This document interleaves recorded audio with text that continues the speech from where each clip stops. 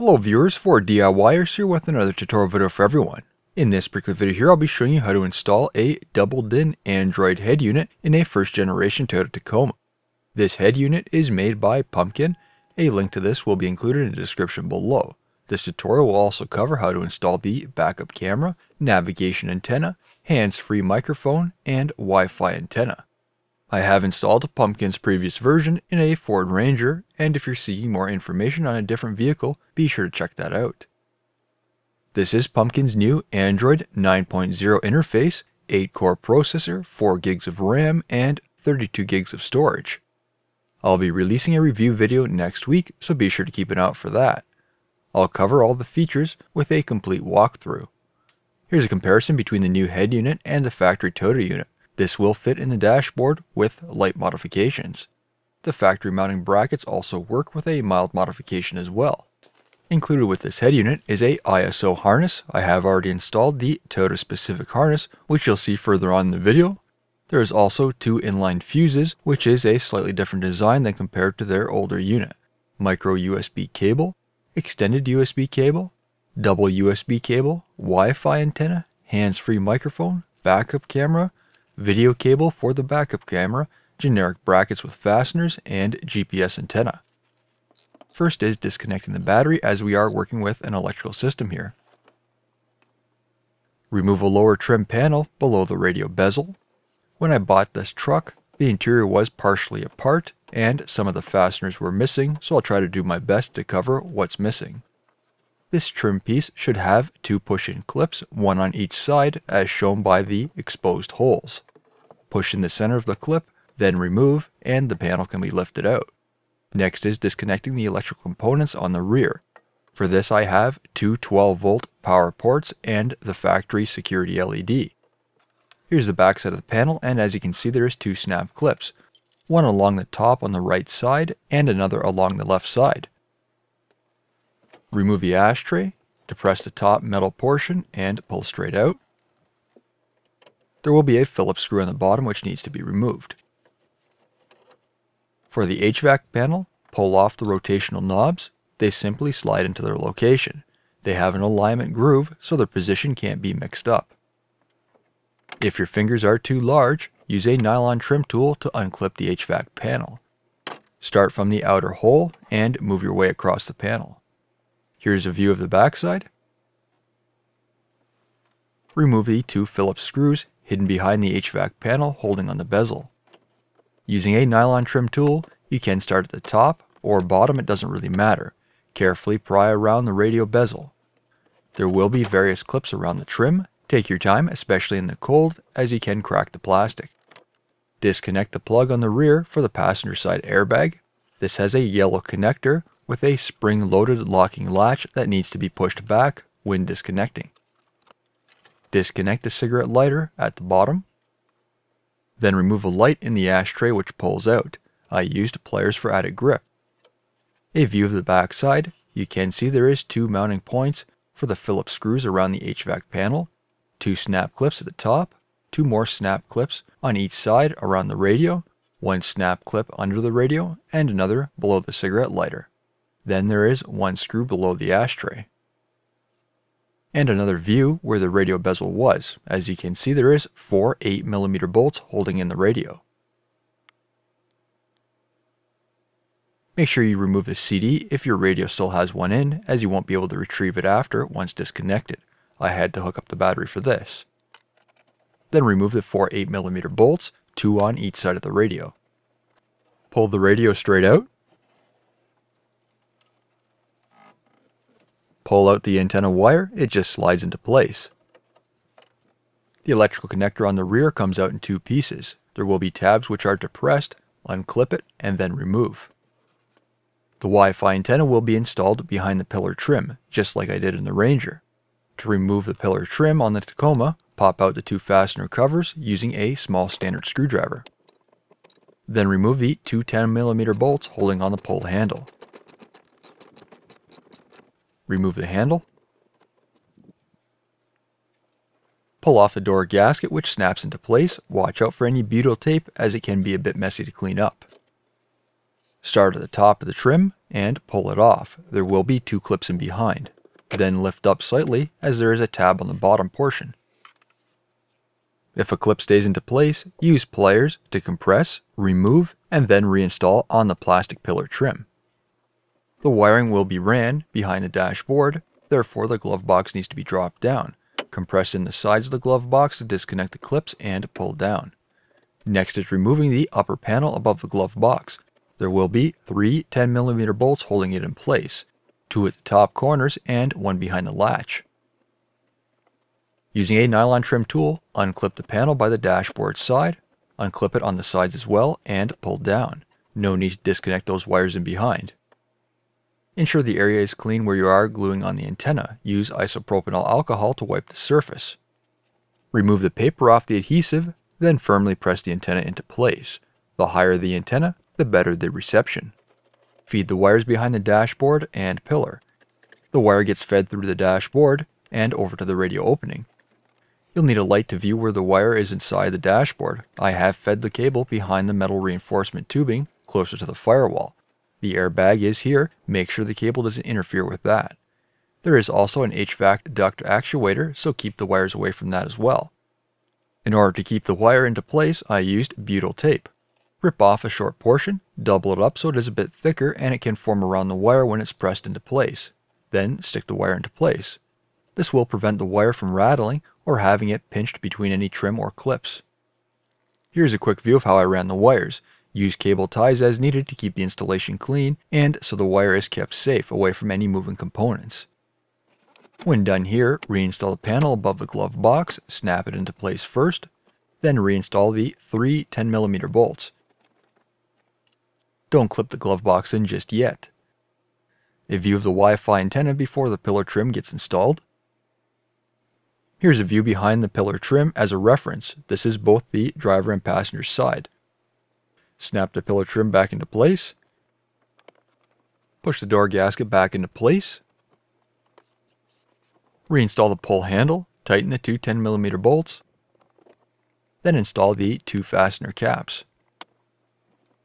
Moving on to the driver's side, this is where the hands-free microphone will be ran. First is removing the door gasket.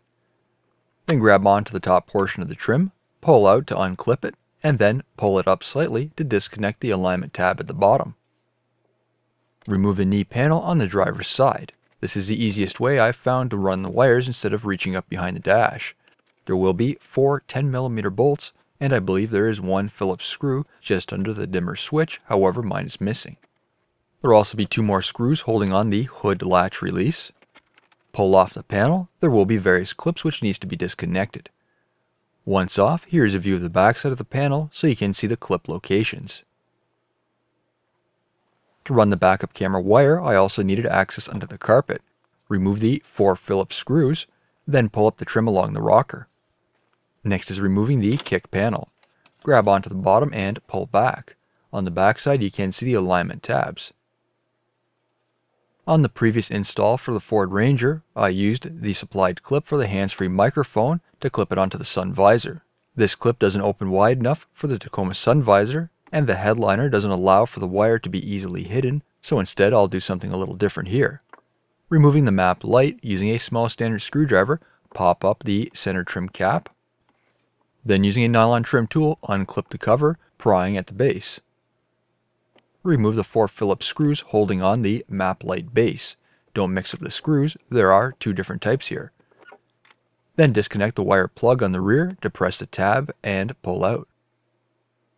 I'm dropping the headliner down slightly so I can run the microphone wire. Remove a sun visor, there are two Phillips screws holding it into place on the fixed pivot part. Unclip it from the lock and remove. To remove the latch there is another Phillips screw, then pull that out. If you have a sunroof, remove the rubber molding around the opening. I used a nylon trim tool to pop it out as it sits firmly into place. Pull the door gasket out at the top. There will be bracing on the inside of the roof where the wires can be ran. You may need the assistance of something stiffer to pull the wire through, which I ended up using. There will be an opening just past the sunroof mounting point, and this is where the wire exits before going down the pillar. When pulling down the headliner, be extremely careful not to crease the material. Reinstall the sunroof opening molding.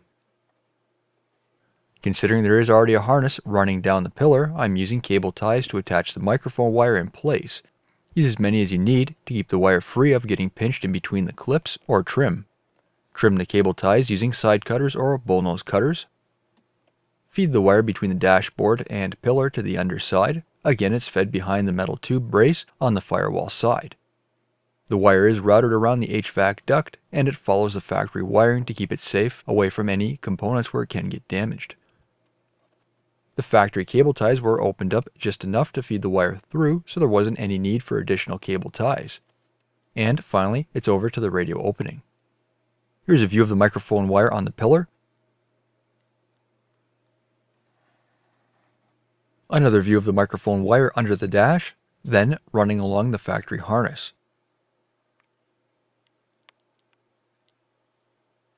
Now is installing the pillar trim. Align the lower tab and then snap it back into place. Push the door gasket back into place. Reinstall the sun visor clip along with the sun visor. I left the longer wire exposed for the microphone. It can be tucked up inside the roof when the light gets installed. The tab left on the clip was removed using bullnose cutters, then touched up with a file. I have already pre-drilled a hole for the microphone on the base to fit through. I use a step drill which does a clean hole on the aluminum base. The size of the hole should match the microphone's diameter. Next is drilling the cover, again using the same process. I use the closest size step drill I had and align the hole roughly so it doesn't interfere with any components. The step drill does leave a very clean hole in the plastic as well. Once done here you can see the finalized hole. This will allow for a clean factory looking install of the microphone in a generalized location for all occupants. Feed the microphone through the base and then screw it into place. Make sure you don't mix up the screws. Then attach the microphone to the cover. If someone has an alternative way for mounting this microphone, please share it in the comments below. I used some hot glue to hold it into place. If it does need to be removed, it can be. The glue should cleanly break away with a little force, and it can be reapplied again. Then feed the wire into the roof and snap the cover back into place. Make sure that wire isn't pinched anywhere. And finally snap the cap around the mirror base. Once that little foam cover is in place, the microphone is in a safe place where it doesn't interfere with any other components in the truck. Moving on to the backup camera now, the video wire is fed through the floor under the driver's seat. Pull back the tape on the factory wiring, then insert the camera wire through here. Once you have the wiring finalized, the tape will need to be replaced so the grommet is sealed up again. The wiring is ran along the same route, so you'll need to go under the truck. Considering it is exposed to the elements, split loop casing is highly recommended to protect the wire and you'll see this casing in a moment. Remove the taillight. There will be four Phillips screws holding it into place. There are two different sized screws here, so don't mix them up. Pull out the taillight. The reverse camera wire requires a switched power source for the reverse lights and ground. I will be cutting both wires for the bulb, Using a razor knife, cut off about 3 quarters of an inch of casing to expose the conductor inside. Here I will be using a lineman splice. Strip the wires on the supplied power plug for the camera. Red goes to the positive, and black goes to the negative. This can be checked with a multimeter. Verify your truck just to be safe. For this truck I found the green to be positive and the white is negative. There also needs to be an additional power switching wire for the camera cable to the head unit. I did cut a length of red 18 gauge wire, again using a lineman splice to the green power wire. This is the same length as the camera power cable. When the soldering is done, I used liquid tape to seal up the connections from any moisture or water. Due to the cold weather, I had to apply this in three coats. It's best to warm up the liquid tape by taking it indoors for the night, as the cold can make it quite thick. Allow it to dry in between coats. Those wires were then ran down to the taillight area and over to the bumper. The video cable wire from the cab was routed behind the bumper and not inside the taillight area. The red wire was soldered to the video cable wire, then I used adhesive filled shrink tube for a waterproof connection. Next the wires were tied off using cable ties, together holding everything in place. Finally is installing the remaining section of split loop casing. This is available in a variety of sizes. Pick the size according to which fits around your connections. The split loop casing will protect those wires from the elements such as road debris, water, snow, or whatever else may jeopardize their condition. Install the backup camera into place. Unlike the other version I installed with fasteners on the license plate cover, this one just bolts up using the license plate mounting holes. Just make sure those fasteners are long enough. Plug in the power and video wires. Then install the split loop casing. Mine is a smaller diameter, so one connection was installed in one section. Then an additional section was for the other connector. Everything was closed up using electrical tape. And finally the wires were pushed back into place behind the bumper. I used cable ties to hold it all together, keeping the wiring safe and clean. For the external dual USB hookup, this was ran in the glove box. This can be mounted anywhere you'd like. The center console would also be another option. Using a step drill again, I picked an appropriate size for the wires and drilled a hole in the back of the glove box. On the Ranger I left the wires hanging down and cable tied them into place. However, the Tacoma doesn't allow for this and the wires may fall in behind. The wires were then cable tied together and fed through the hole, over to the radio opening. For the head unit's wiring, as mentioned earlier, I did cut off the ISO plug on the harness as it's not compatible with this truck. When the wiring was done in the Ranger, I did cut a fair amount of wire off to keep this harness short. However, in this case there are inline fuses, which is a nice safety feature, so I'd like to keep those. The Tacoma does have quite a bit of room inside the dash, especially since the new head unit is shallower, therefore there shouldn't be any issues pushing back that wiring. All the wires which will be used were stripped. As a test run, I did match up all the wires, twisted them together, and then wrapped the conductor in electrical tape. This is a great way to ensure it's working correctly in your vehicle. If any mistakes are made after soldering, then it's harder to fix. I purchased a vehicle-specific plug-and-play connector for the Tacoma. This method is highly recommended as you don't have to cut up the factory wiring, the installation is much cleaner, and if you part ways with your vehicle, you can keep the head unit and reinstall the factory one. These plug-and-play harnesses can be purchased at your local auto parts store. Some big box stores also carry these, electronics store, or online. The plug-and-play harness does come with a wiring diagram and Pumpkin also supplies a wiring diagram as well. Typically the colors are generic, but just verify everything to be safe. Pumpkin also labels their wiring to make the process easier. Next is removing the electrical tape. Unfortunately with this plug and play harness, I couldn't remove the extra plugs as it still leaves exposed wires and won't allow for a cleaner install. On the Ranger I did modify the harness to remove the unwanted plugs. Straighten out the wire strands. Crimped connections can also be used, however, they do pose problems when not done correctly and they don't always look as nice. I am using color-coded shrink tube, which is sized accordingly to the wire gauge. Make sure the shrink tube is installed before the joint is soldered. Work in a well-ventilated area. This is a flux core solder, and the type of connections here I'm using is known as a Western splice. If you are seeking more information on soldering, I do have a video for that, so be sure to check it out. Try to untangle the wires so everything lays fairly smooth before making the connections. I soldered a few at a time and then heated up the shrink tube. This is just a regular form of shrink tube. The connections inside the truck won't be exposed to any excessive amounts of moisture, so there's no need for the adhesive filled shrink tube. Once done, here you can see the finalized harness. Another couple connections will be made inside the truck, and just before the finalized installation, the wiring will then be held together using cable ties. Any wires which won't be used can have adhesive fill shrink tube installed on the ends to close them off. However, Pumpkin has already done this. Remove the brackets from the factory Toyota radio. There will be alignment tabs in these brackets. One tab on each bracket did cause some interference. I did use pliers to break it off, then cleaned the remainder up using a file. These brackets are soft, so they're fairly easy to file that clean break. Using the supplied screws from Pumpkin, these are the correct length so they won't push against any components inside, install the brackets. While there are four holes, three only can be used for each bracket. The radio bezel did require some mild modifications to make it fit. The opening did require some filing. You need to remove about a 16th of an inch or 2 millimeters of plastic all the way around. Take your time. The outer plastic can be taped off if you wish to protect the outer finish. The corners are then finished up with a rat tail file for a clean radius. When done, the opening can be finished up with 800 grit sandpaper so there's no rough edges left from the file.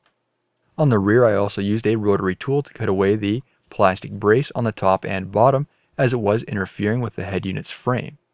Instead of a rotary tool, a hot knife can also be used. When done, you should be left with a tight and smooth fitment, no need for any radio installation kits. In the truck, for the reverse camera, in order for that head unit to turn on for the video mode for the backup camera, the labeled camera wire gets connected to the red wire on the video cable. This connection was soldered and had heat shrink applied. Those extra connections on the harness, while they do have caps, they can still fall out, so I wrapped them up with electrical tape just to be safe. They are wide off to the harness, so they do have power. Next is organizing all the wiring using cable ties. This will keep everything clean, reduce the chance of the wires becoming damaged, and it's easier to push everything back inside the dashboard. I have left the GPS and Wi-Fi wires on their own just to reduce any chance of interference. The GPS antenna has a magnetic base. It should be attached to a metal base to amplify the signal. I stuck it on the metal tube brace inside the dashboard. Then as a little extra security, I used a cable tie to hold it into place. The antenna should have direct view through the windshield. You may need to remove the HVAC panel, it's only held into place with three Phillips screws. Here's a view of the finalized wiring. Now is installing the head unit. Typically I like to start with the longest wires first as they are the easiest to install. Connect the GPS and Wi-Fi antennas. These are a threaded connection and get snugged up with a 8mm wrench. Connect the main power plug for the head unit. Plug in the connection for the dual USB ports coming from the glove box. Connect the hands-free microphone jack. Connect the antenna wire. And finally the video cable for the backup camera. If you wish, you can double check everything to make sure it does work by hooking up the battery temporary and then turning on the head unit. The only function I didn't hook up was the safety wire for the parking brake switch. The reason for this is that the wires are quite hard to access underneath the dashboard. Leaving this disconnected may go against local laws depending on where you are. An alternative route would be running a separate switch. Push all the wires into the dashboard, make sure nothing gets pinched. You can reach up underneath the dash in the center area to pull those wires as needed. Then install the four fasteners and tighten. Finally is the reinstallation of all the other components that were removed in reverse of removal. First is starting with the driver's side knee panel. Reinstall the bezel. Start with connecting the wires at the bottom as they are shorter and you'll have easier access when it's out. Reconnect the passenger side airbag switch. Make sure no wires are pinched while pushing everything back into place. These clips may not align with the holes and that can prevent the trim from seating correctly so be mindful of that. Install the screws around the HVAC panel.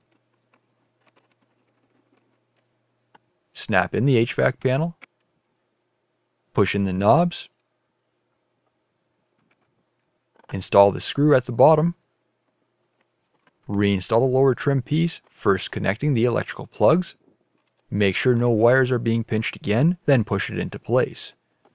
My side clips were missing, so I replaced those with generic fir tree style clips. And finally the ashtray. For the driver's side, only two pieces of trim are left. First is the kick panel, which pushes into place. Make sure the tabs are aligned for the slots. Snap the rocker panel trim into place and then install the four Phillips screws. If you haven't already, reconnect the battery. Once done, here you can see how the head unit sits in the dashboard. There is a tight fit all the way around the perimeter of the unit, no need for any bracket adjustments, it's easily reachable and viewable for the driver, and the truck now has new tech features. I will have a finalized walkthrough and review of this head unit next week. However, as a brief overview, this is the 7-inch Android 9.0 head unit made by Pumpkin. A link to this will be included in the video description. It has an 8-core processor, 4 gigs of RAM, and 32 gigs of storage. It has external USB ports, a micro SD card, can be installed behind a hidden cover on the face. The truck now has a backup camera, Wi-Fi connectivity to surf the internet, Navigation can play videos, supports the Torque app which is able to show live data of your vehicle through a Bluetooth OBD2 reader, Apple CarPlay and Android Auto compatible, and more. New videos released every week on my channel. Be sure to hit that thumbs up button. It's a huge help to me and leave a comment below if you found this tutorial helpful. Don't forget to follow my social media pages such as Facebook, Twitter, and Instagram to keep up to date with my latest projects. And if you're not a subscriber, be sure to hit that subscribe button. Thank you for watching.